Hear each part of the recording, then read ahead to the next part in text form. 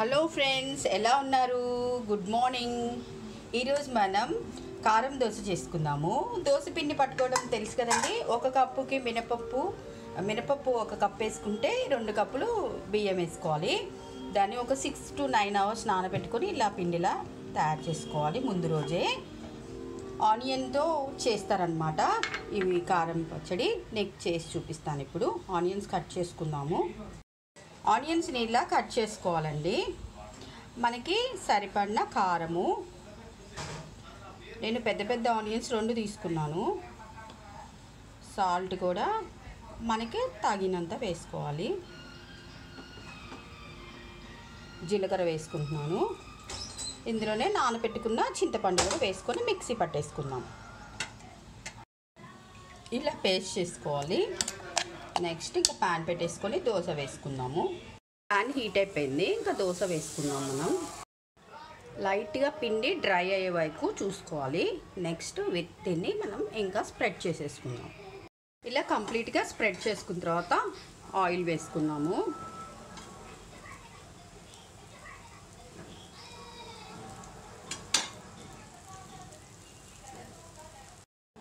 మనకి చక్కగా ఫ్రై అయిపోయింది. లైట్గా కొత్తిమీర స్ప్రింకిల్ చేసుకుందాము. ఇష్టం అందిది మీ ఆప్షను. నాకు ఇష్టం అనమాట కొత్తిమీర వేసుకోవడం.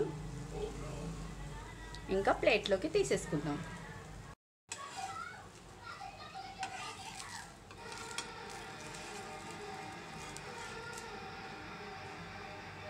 అలాగే ఇంకోటి కూడా వేసేసుకున్నాము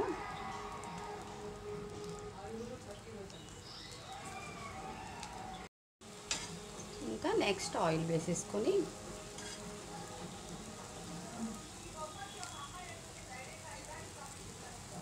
ఫ్రై అయ్యే వరకు చూద్దాం. రోస్ట్ అయిపోయిందండి. ఇంకా మనం ప్లేట్లోకి సర్వ్ చేసుకుందాం.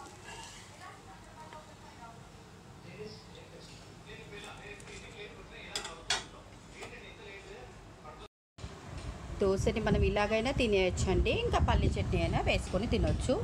చాలా బాగుంటుంది. ట్రై చేయండి. ట్రై చాలా ఈజీ కదండి. ట్రై చేయండి. ఇప్పుడు ఎగ్ దోశ వేసుకుందాము. కొద్దిగా డ్రై అయిన తర్వాత పిండి ఎగ్ కొట్టుకుందాము.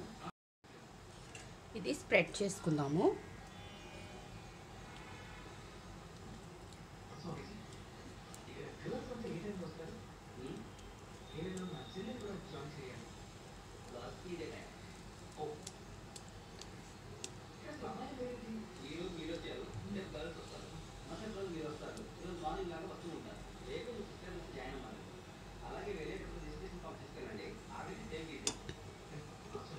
ఇలా ఇలా స్ప్రెడ్ చేసుకున్న తర్వాత దీంట్లో మనం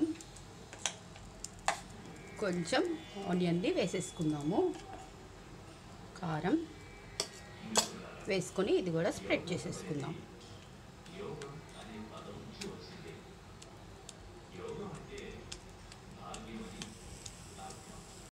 కొద్దిగా ఆయిల్ వేసేసుకుందాము. ముందుగా మనం ఎగ్ ఎగ్ కొట్టుకున్నామండి దోశ మీద దాని మీద ఈ చట్నీ వేసాము. ఫ్రై అయిన తర్వాత ఇంకో వైపు కూడా తిప్పుకుందాం. కొద్దిగా కొత్తిమీర వేసుకుందాము వెనక్కి తిప్పేద్దామండి. ఆల్రెడీ రోస్ట్ అయిపోయింది.